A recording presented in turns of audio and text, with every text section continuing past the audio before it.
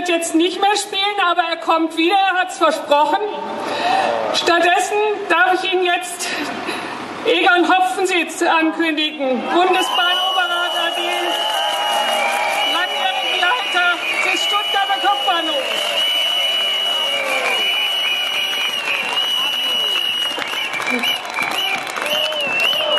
Guten Abend, liebe Mitstreiter. Es freut mich ungemein, Sie einmal wieder von oben herab begrüßen zu dürfen.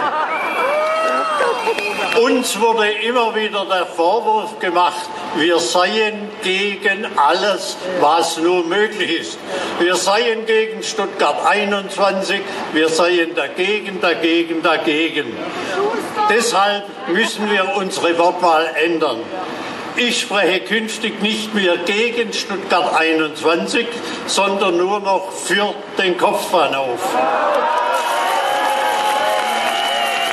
Ich bin künftig nicht mehr gegen den Südflügel, sondern nur noch für seinen Erhalt. Ich bin auch nicht mehr gegen das Wassermanagement, sondern für das Erhalt des Grundwassers und des Mineralwassers. Und ich bin nie mehr gegen Ministerpräsident Kretschmann, sondern ich bin für, jetzt hätte ich beinahe Mappus gesagt, weil der Unterschied da nicht mehr festzustellen ist. Aber ich bin künftig nicht mehr gegen Kretschmann, sondern für einen ehrlichen Ministerpräsidenten.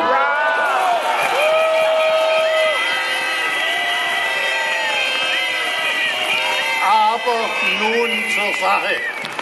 Es eilt, denn die Regie hat mir nur fünf Minuten Redezeit gewährt, plus zwei Minuten für den Applaus.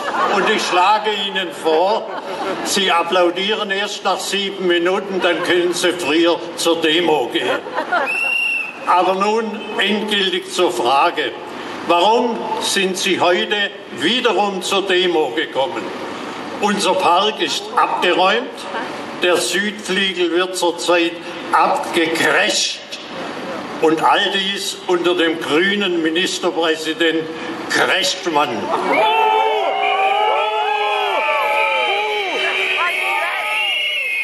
Stellt sich da nicht die Frage, stellt sich da nicht die Frage, wie lange wollen wir denn noch demonstrieren? Und wie wollen wir demonstrieren?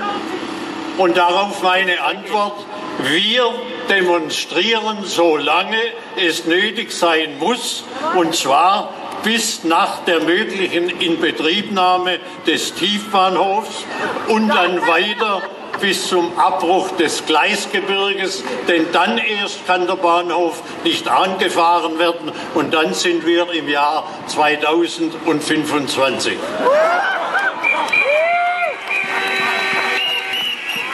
Aber um so lange durchzuhalten, will ich Ihnen ein wenig Mut machen.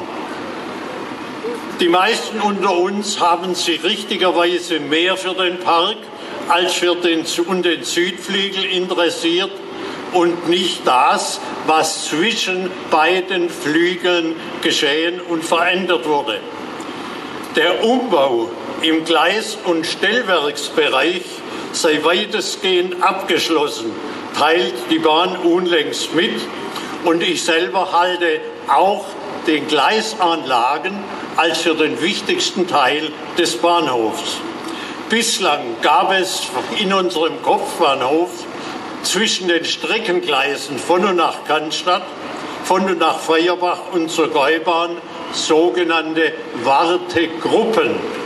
Eine Wartegruppe Ost vor Gleis 16 mit sieben Gleisen, eine Wartegruppe Mitte vor Gleis 11 mit acht Gleisen, eine Gruppe Warte West vor Gleis 8 mit sechs Gleisen und eine Wartegruppe S-Bahn vor Gleis 5 mit vier Gleisen, gleich 25 Wartegleise.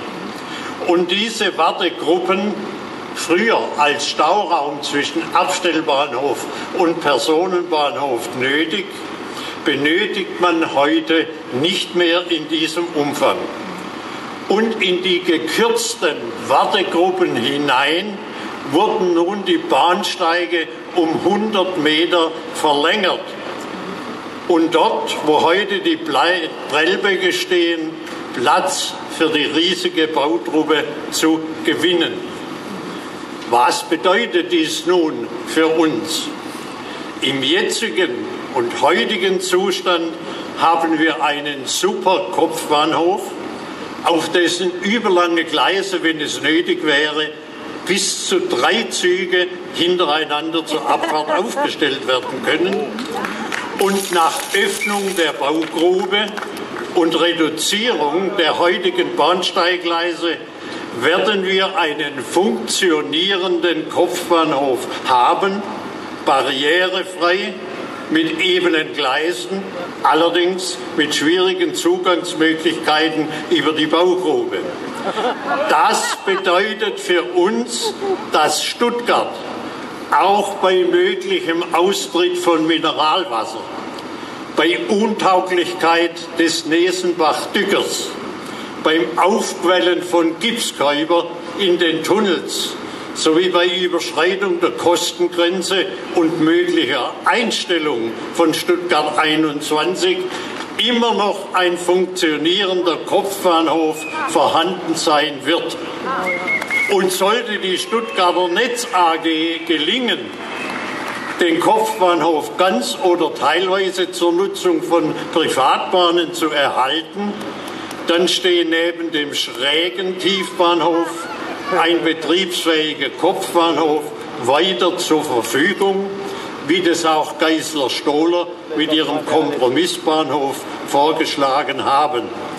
Bei allem also, was bei S21 noch schiefgehen kann, bleibt uns in jedem Fall ein funktionierender Kopfbahnhof erhalten.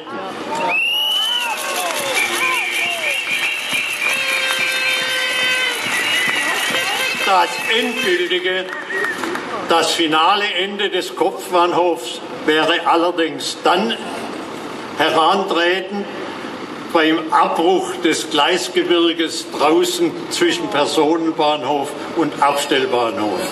Aber bis dahin sind Proteste und Demos nicht nur sinnvoll, sondern auch nötig.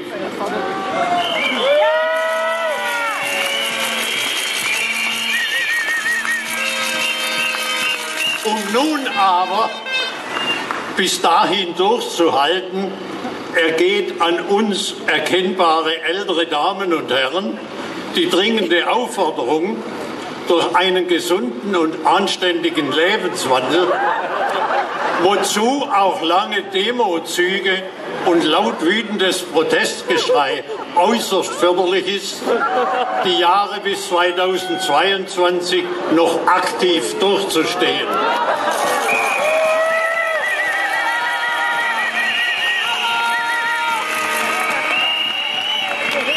Außerdem spielt natürlich mit, dass wir Alten ja auch noch ein wenig länger oben bleiben wollen.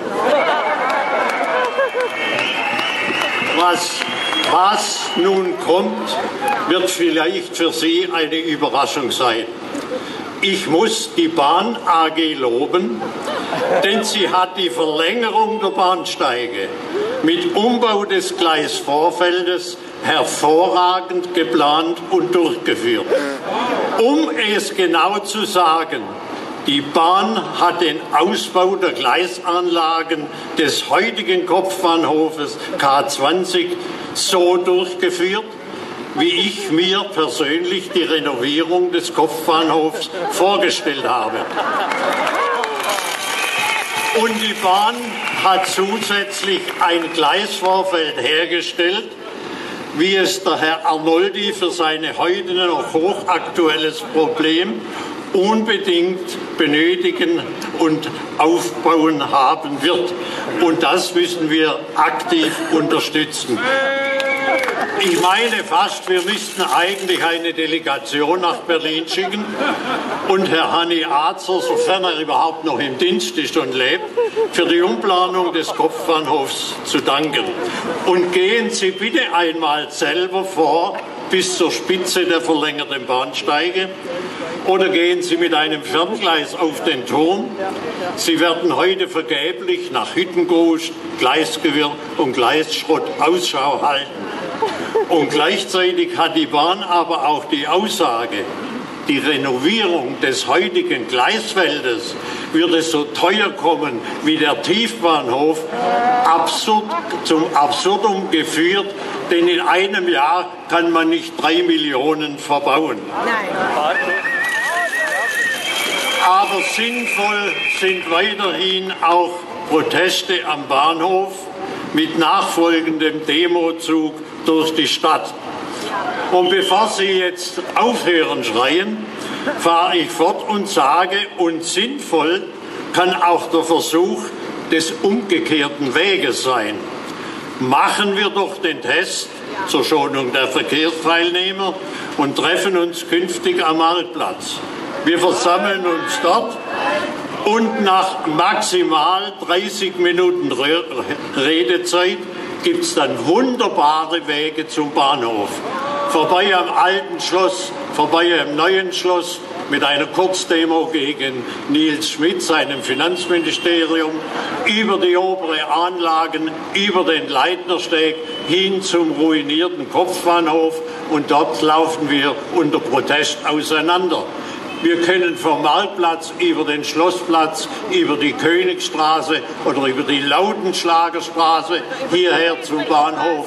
Wir können über die Friedrichstraße rauf zur ehemaligen Bundesbahndirektion, denn auch dort wird uns demnächst etwas auf uns zukommen, was wirklich keine Freude bereitet. Sie wissen ja, dass zu diesem ebenfalls denkmalgeschützten Gebäude die Stadt Stuttgart nur für den Teilabriss zugestimmt hat, die DB AG aber jetzt wie erwartet auch das gesamte Gebäude aus Kostengründen abreißen will.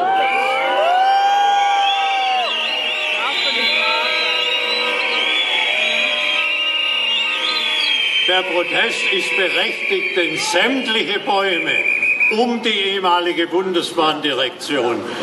Außenrum wurden bereits gefällt. Dort steht aber noch ein Erinnerungsstein mit folgender Aufschrift. 1914 bis 1918, 1939 bis 1945 den in zwei Weltkriegen gefallenen württembergischen Eisenbahner zur Ehre und Erinnerung. Offensichtlich ist mit Ehre und Erinnerung kein Geld zu machen. Wird auch dieses Erinnerungsdenkmal gefällt und etwa entsorgt wie die Parkbäume und entsorgt auch die Erinnerung an die Toten, wo endet eigentlich die Barbarei des Abrußes in Stuttgart und sollten wir nicht auch da oben blockieren?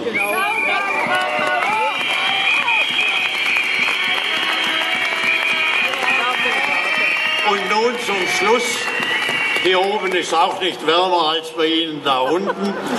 Wir haben auch in Zukunft einen barrierefreien, ebenen und gut funktionierenden Kopfbahnhof und wir erwarten sowohl von den immer aktiven Parkschützern als auch vom erweiterten Sprecherteam des Aktionsbündnisses bald gemeinsame Aktionen, denn nur so können wir durchhalten.